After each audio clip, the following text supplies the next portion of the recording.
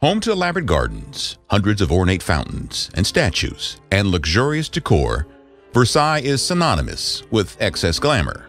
In truth, the Versailles that was the primary residence for 17th and 18th century French kings Louis XIV, Louis XV, and Louis XVI was also a repository of foul odors and filth.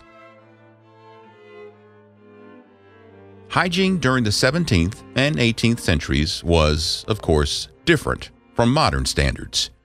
At Versailles, residents were up against natural conditions, described by contemporaries as the most thankless of places, without wood, water, or earth. Almost everything is shifting sand or airless marshland and cannot be good.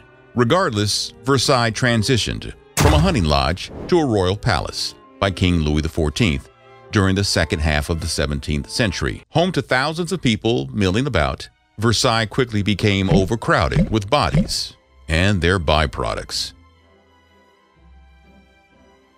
Bathing at Versailles did take place, albeit in cold water. At the time, warm water was considered harmful, allowing for diseases to infiltrate the body. Quick wipe downs, or sponge baths as we know them today, were preferred over soaking in a tub, although the latter was known to happen. Through the course of his life, King Louis XIV only had three baths. So the story goes, even though his apartment at Versailles was equipped with running hot and cold water, a large bathtub, and several smaller tubs for friends and, uh, his lovers. Louis did get washed, combed, and shaved by attendees each morning, and his clothes were changed numerous times each day.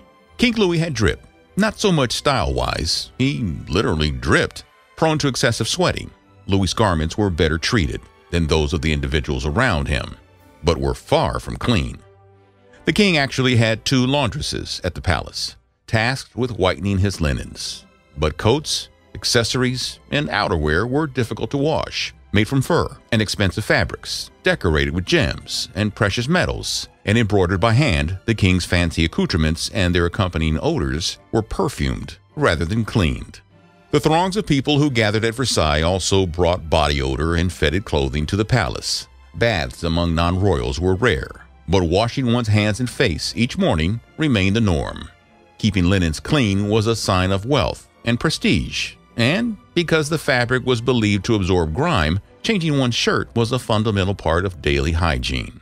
Just like their king, French men and women applied perfumes and powders to combat odors emanating from their unwashed outer garments. Bold scents were used to mask other smells as well. Wigs were doused with fragrances, often in the form of pomades, but this did nothing to combat lice and other insects that would infest the headpieces. Ironically, the adoption of wigs took place in reaction to lice that infested one's natural hair. During the mid 17th century, men and women shaved their heads to rid themselves of bugs, only to find new critters in their artificial coiffs. Smells didn't only result from perspiration that permeated hair and clothing. Bad breath led Madame de Montespan a mistress to King Louis XIV, to use large amounts of perfume in hopes of avoiding the royal's halitosis.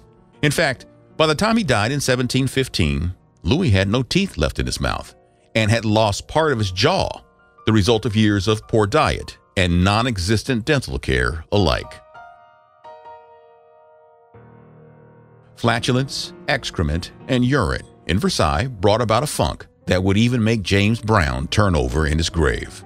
Personal chambers at Versailles were equipped with chamber pots, but the contents were simply thrown into cesspits on palace grounds.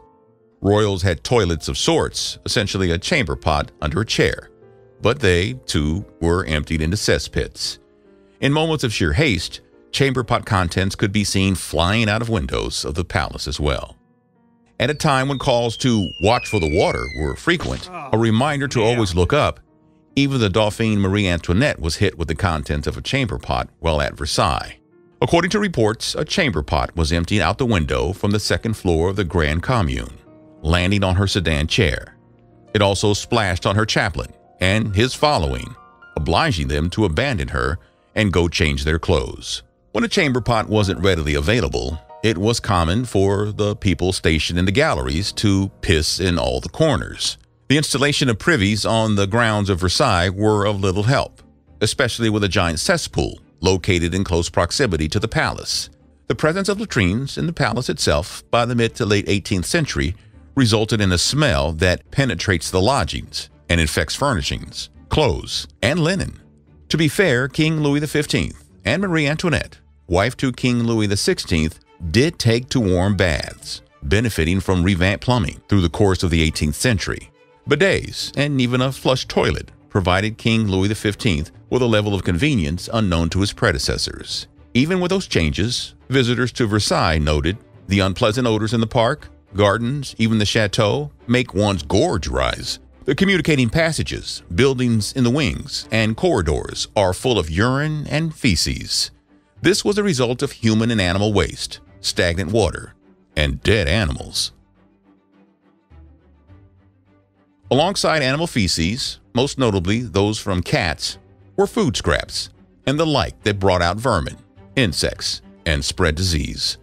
Meals did involve washing one's hands, but that was no defense against poor kitchen sanitation. One of the most common results of a lack of culinary hygiene was tapeworms, a parasite that both King Louis XIV and members of his court struggled with. On one occasion, the king's doctor even noted that Louis produced a tapeworm that was 16 centimeters long and still alive. His autopsy revealed even larger tapeworms contained within his digestive tract. Tapeworms were foodborne, but syphilis, a disease that afflicted half of the royal court during the reign of Louis XIV, was transmitted through sexual contact. With the loss of inhibitions, sex ran rampant at Versailles.